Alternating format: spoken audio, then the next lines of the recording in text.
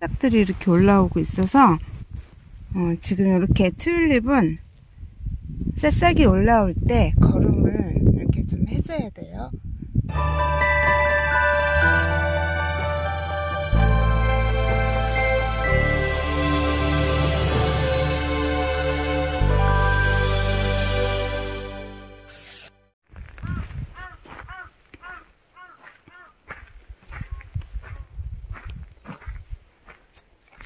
안녕하세요. 지윤타사TV입니다.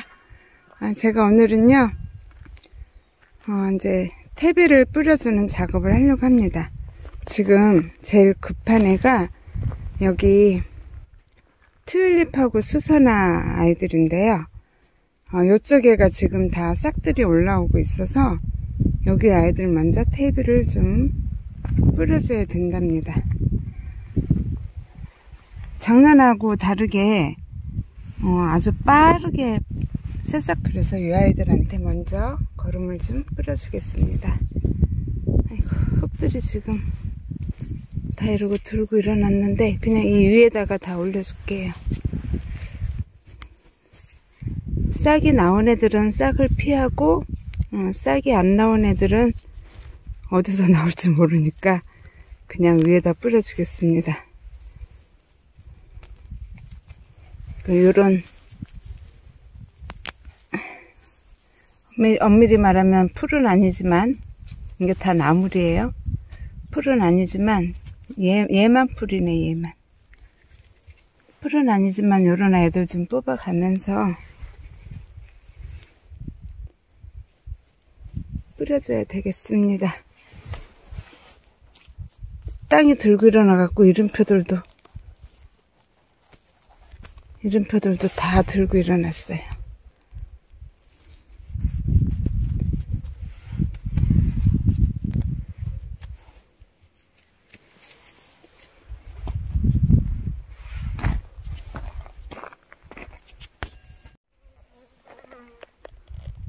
자 이렇게 탭에도 이렇게 아직 얼어 있습니다 얼어 있는데요 이거를 잘 부셔서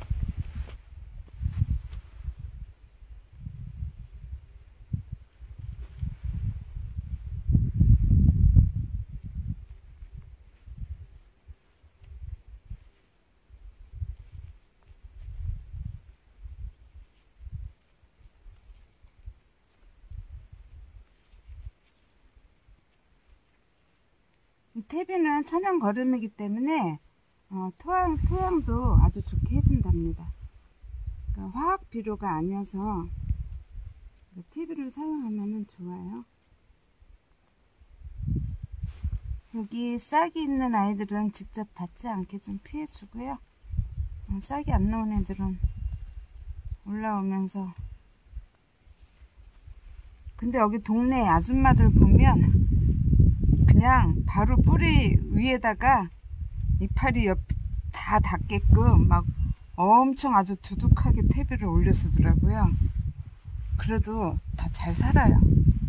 뭐 꼭 뿌리를 피해서 해야 되고 막 그런 거 없더라고요. 여기 시골에서는.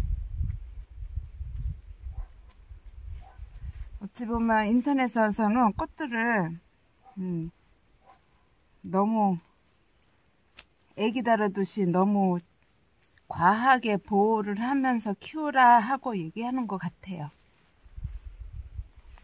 제가 볼 때는 그렇습니다.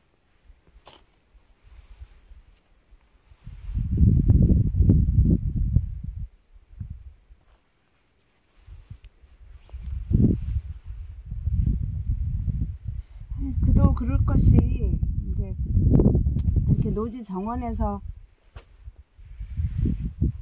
야생화 꽃을 가꾸는 사람들보단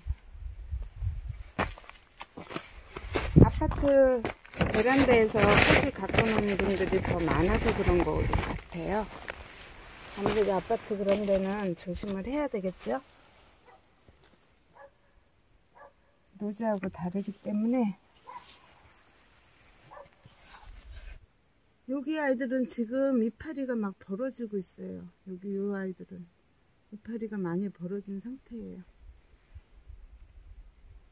올해는 튤립을 음, 이대로 정, 정말 마지막 꽃샘추 이런 거 없이 봄이 바로 시작이 된다면 튤립을 아주 빨리 보게 생겼습니다.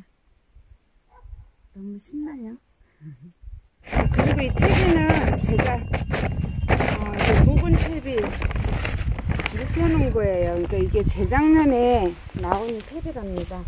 그래서 묵혀놓은 것들은 이렇게 어, 바로 써도 상관이 없어요.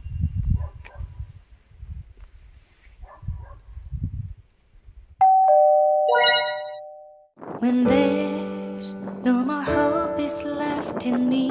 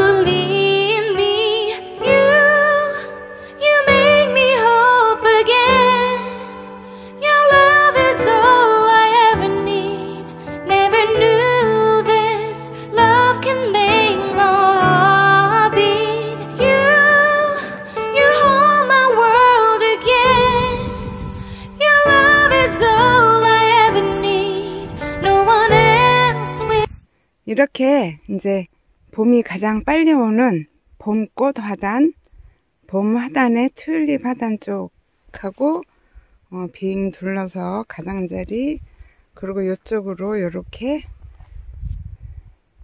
퇴비를 다 뿌려줬습니다. 여기는 다 봄꽃들이에요. 봄꽃. 어, 봄에서 이제 여름까지 꽃이 피는 아이들. 그런데 자리가 많이 비었습니다. 지금 정리를 살짝살짝 하면서 보니까 빈자리가 너무 많아요. 음, 여름에 많이 물러 죽어서 봄꽃들이 음, 이제 채워 넣기로 하고요. 아, 그리고 어, 이쪽 우선 어, 어, 빨리 올라온 새싹들이 빨리 올라온 여기 이쪽부터 거름을 지금 주었습니다. 이제 다음에는 저쪽에 작약하고 수국. 수국은 아직 조금 더 있어야 될 것 같고요. 음, 하나하나 정리해가면서 이제 걸음 줄 때는 걸음을 주고 해야 되겠지요. 자 여기까지. 여러분 안녕.